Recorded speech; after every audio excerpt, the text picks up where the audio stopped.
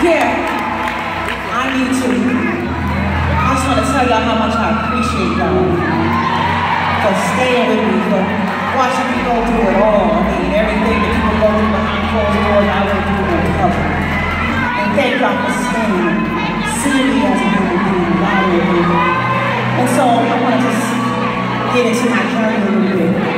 So all the music from every, every,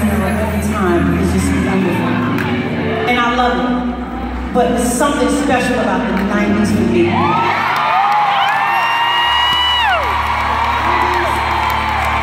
It seemed like everything was incredible in the 90s. The music, the fact, I mean, everybody had their own style, their own this, their own that. And like in 1996, I was transitioning again. And I put out this album called Share My World.